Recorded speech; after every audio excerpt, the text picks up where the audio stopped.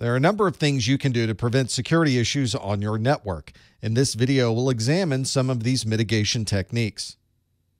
If you have an intrusion prevention system on your network, then you're probably familiar with the management of those signatures. There are many different signatures, and each one will have a different disposition. You get to decide what happens if any of these signatures happen to match the traffic going through your network. Do you block the traffic or allow the traffic? Do you also send an alert, or does the message simply show up in your logs? There are thousands of different rules in an IPS, and you'll need to determine what the outcome is for every single one of those rules.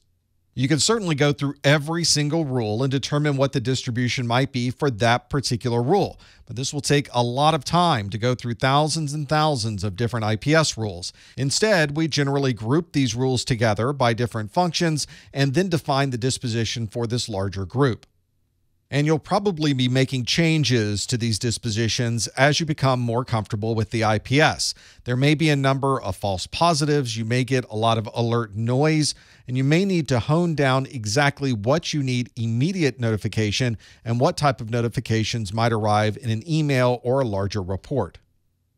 Here's a list of rules in my IPS that are associated with malware. By default, you'll notice that all of these rules are disabled. Many intrusion prevention systems will disable rules by default in order to maintain the performance of that particular system.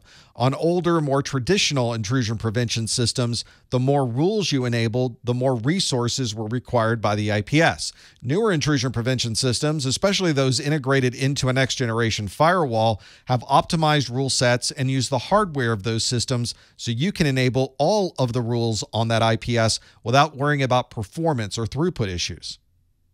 As we mentioned in the previous video, we want to have all of our infrastructure devices hardened against any security issues. There are usually default configurations and default usernames and passwords, and we want to be sure that all of our systems are not using the defaults. Fortunately, manufacturers of these switches, routers, firewalls, and other devices will often provide a hardening guide so you can use their recommendations to make sure that your system is as secure as possible. You might also find a number of guides online that go beyond the manufacturer's requirements so that you can really tighten down the security of these devices. If you're configuring a network switch, one of those configuration settings for an interface that you're connecting to someone's laptop or desktop computer will be assigned to a particular VLAN.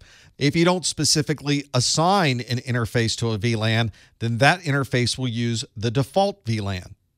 But there's another type of VLAN called the native VLAN. This is used when you're trunking different switches together. If you're sending traffic across a trunk and that particular traffic belongs to the native VLAN, then a .1Q header will not be added to any of that traffic as it goes across the trunk. You might also hear these referred to as non-trunked frames. If you look at the default configuration of a Cisco switch, for example, the native VLAN is defaulted to VLAN 1.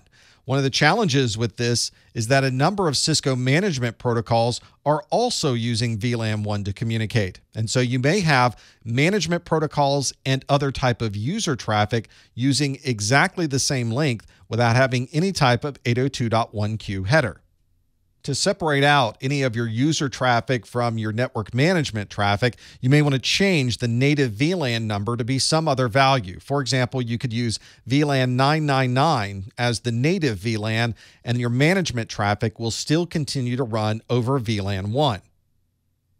When you first install a switch or a router or some other network device, you know that you're given access to that system as the administrator or the root access to that system. This means that you have complete access to perform any configurations on that device. If you need to make a configuration change to that device or upgrade any of the software, the administrator login or root login gives you complete control. This obviously means that you need to control who would have access to these administrator logins. You may want to integrate this with an existing AAA server or enable two factor authentication. Or you may want to make sure that the passwords that you're using are strong passwords and not something that could be easily guessed. And as a good best practice, you want to make sure that that password is occasionally changed to make sure that you're locking out anyone who may have previously gained access to that system.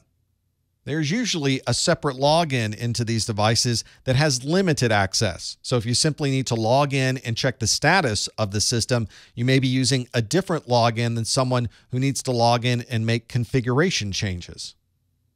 On these devices, there are some files that will be changing all the time. For example, the log files in a system will be constantly updated throughout the day. But there are some files on these systems that will never change. The operating system files and the internal files of these systems will probably never be updated. Since many security breaches can start by someone changing one of these files that normally would never change, you may want to enable File Integrity Monitoring, or FIM. This means that you can scan either in real time or on demand to see if any of these files may have been changed. In Windows, you might want to run SFC. This is the system file checker that will look at the Windows files and make sure that all of those files are exactly what they should be. In Linux, there's an agent you can add from Tripwire. And if any of your system files change, the Linux Tripwire agent will tell you that those have been modified. There's also a number of host based IPS options that can monitor any of your systems and let you know if any of those important files may have changed. The only people who should be logging in to your switches and routers are probably your network management team, your security team, and maybe access when you happen to be at home. You may be able to set up access control lists or ACLs so that anywhere else on the network would not have access to those particular infrastructure devices. You could set up your ACL so that only the people who are on the network management or network security subnets would have access to the management interface of those devices. All other traffic that would be inbound to those devices would be dropped before anyone had a chance to log in. This is a little bit different than setting ACLs for how an application might work. These are ACLs that you're configuring on a router or another infrastructure device that would drop the traffic on the network as it's traversing a particular interface. This would mean that you would have to be on one of the approved IP addresses to gain access to those management interfaces. Some organizations use honeypots as a way to attract the bad guys and have them stuck in their own virtual world of trying to hack systems that in reality don't really exist. Since a lot of the inbound traffic from the bad guys is a script or some other automated process, you can have that inbound automated process talking to your honeypot automated processes to see exactly what they might do if they were to hit an actual machine. Sometimes a honeypot is a single device, but you could set a virtual world of multiple devices and networks together into a honey net. You can find out more information about honeypots at projecthoneypot.org, or you can download and run HoneyD on your own systems. This is a constant battle to try to make sure that your honeypots look as real as possible. The bad guys are very good at determining whether they're accessing a real system or whether it may be a honeypot. So you want to be sure that you're running the latest types of honeypots on your systems so that you know you're going to be able to attract the bad guys. One of the ultimate ways to protect against somebody hacking into your system is for you to try hacking into your system yourself. You can do this by performing penetration testing. You're going to simulate attack with actual exploits to see if you can take advantage of some vulnerabilities. This, of course, is the next step above doing vulnerability scanning. A vulnerability scanning may tell you where a vulnerability might exist, but it won't actually try to take advantage of it. With penetration testing, we're trying to see if we really can gain access to this system, and we would see exactly what the bad guys would see if they were running the same exploit. In some environments, you're required to periodically perform a penetration test. This may be something that you're able to do internally, or it may be required that you bring a third party in to perform these pen tests. A good overview of penetration testing can be found in the National Institute of Standards and Technology report that is the technical guide to information security testing and assessment. And you can find that guide at professormesser.link slash 800 115.